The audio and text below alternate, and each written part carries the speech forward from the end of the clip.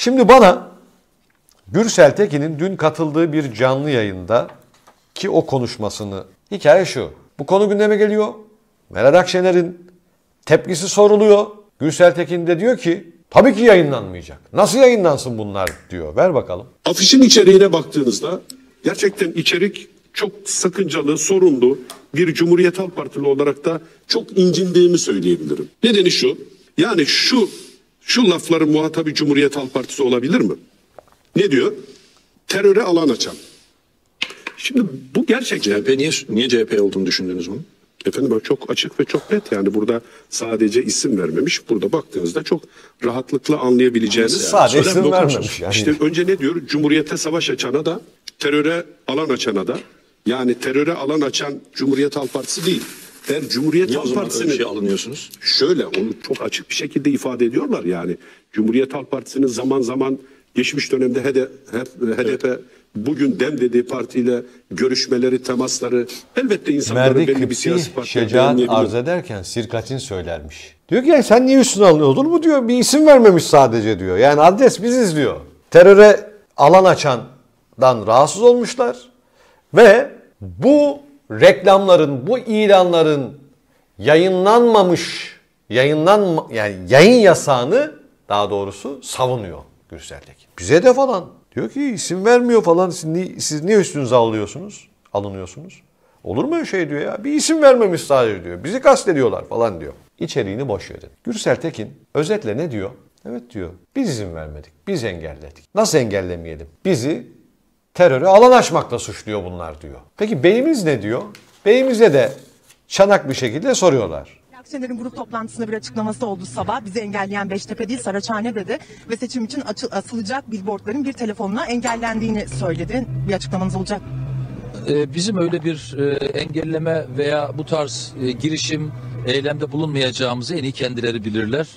E, Bu noktada ne için yaptığını bilmiyorum bu açıklamayı ama e, muhtemelen e, bu billboard Dur. meselesi çünkü öyle bir Buradan devam edeceksin. Ne için yaptığını bilmiyorum diyor mesela. Ya İyi Parti'nin reklam çalışmalarının billboardlarda yayınlanmasını engellemişsiniz. Onu konuşuyorsunuz ya zaten. Onu sordular ya size zaten. Nasıl bilmiyorsun bu açıklamayı niye yaptığını? yansıyı bana gösterdi arkadaşlar. E, Bir kere bu işin sadece İstanbul'u yok, Dur. muhtelif şehirleri var. Yansıyı bana gösterdi arkadaşlar. Niye? Hangi yansıyı göstermişler? Reklamların yansısını mı? Ya hani haberin yok? Bak görmüşsün. Yansıyı görmüşsün. Devam. Bir kere bu işin sadece İstanbul'u yok, muhtelif şehirleri var. E, bu işler de şehirlerde, firmalarda, firmalarda yönetiliyor. Onlarla konuşabilirler, görüşebilirler. Belli Dur. ki Tam da Meral Akşener'in dediği gibi. Ne diyordu? Şirket yaptı diyecekler. Ne diyor? Tamam işte firmalarla, şirketlerle görüşebilirler. Sadece İstanbul değil Ankara şu falan görüşsün diyorlar. Devam et. İstanbul'da ve Ekrem İmamoğlu üzerinden konuşmak e, veya Ekrem İmamoğlu'na taş atmak e, böyle bir prim yapacak zannedilir e, şekle doğru gidiyor. Hayırlısı.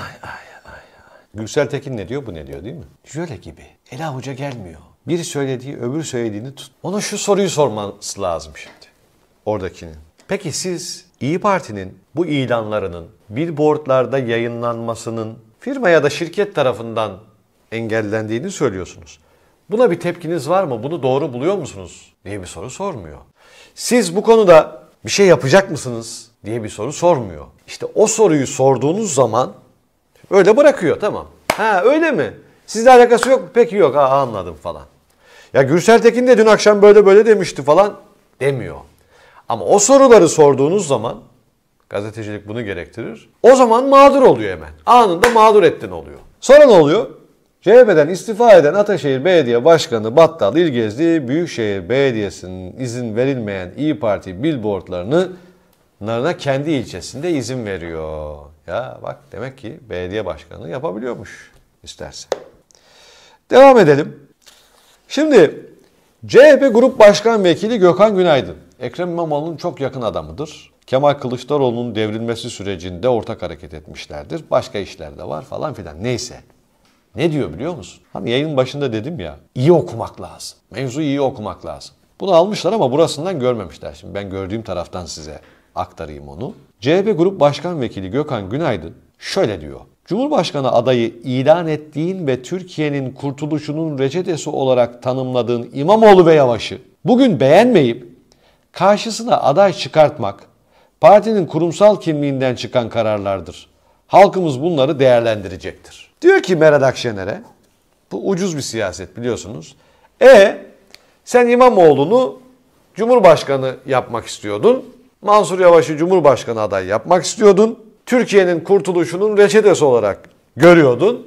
E, e şimdi niye böyle yapıyorsun falan filan. Ya Meral Akşener yanılmış ayrı mevzu. Bu başka bir iş. Ama sormazlar mı Sayın Grup Başkan Vekili Gökhan Günaydın size. Siz Kemal Kılıçdaroğlu'nu Türkiye'yi kurtaracak adam olarak görüyordunuz. İkinci Atatürk'tü Kemal Kılıçdaroğlu. Türkiye'yi yönetecek adamı ilk kongrede paketleyip gönderdiniz. İsmail Saymaz demiş ki Tunç Soyer yerine Cemil Tugay'ın tercih edilmesi demin İzmir'de aday çıkarma kararını değiştirdi.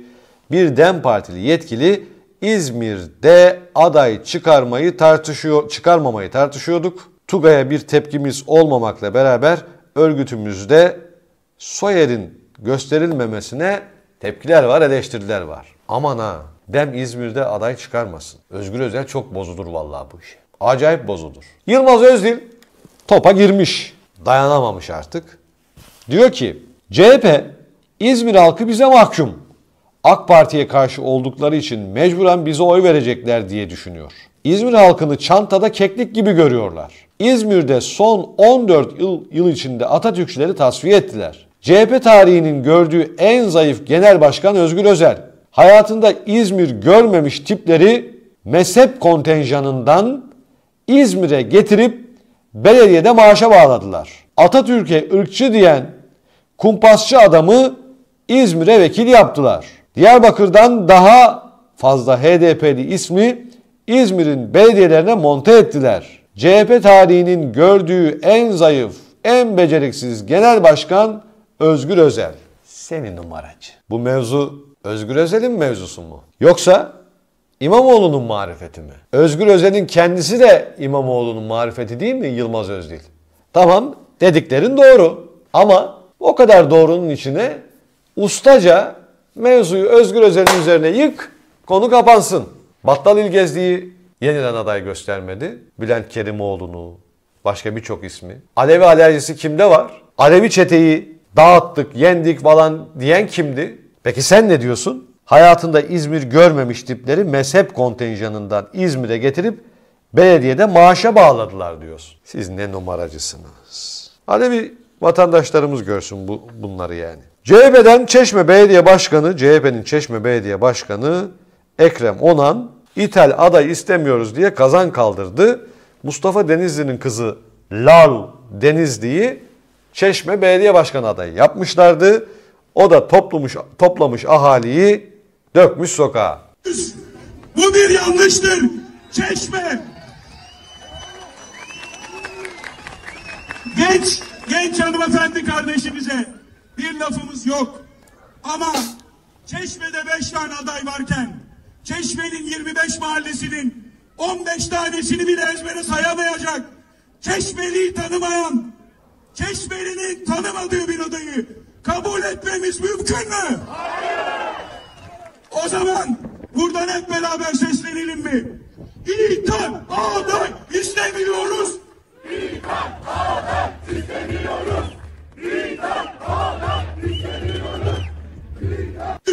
Çok üzüldüm. Yani tanımam etmem bilmem.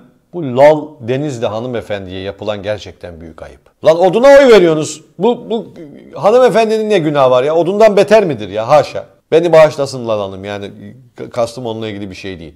Oduna oy veririz diyorlar. Lal Deniz, Denizli'ye oy vermiyorlar yani. İthal aday istemiyorsunuz. Kemal Kılıçdaroğlu'nu özlemeye bak. C- CHP dibe vurdu dibe. Tarumara per perişan ettiler yani.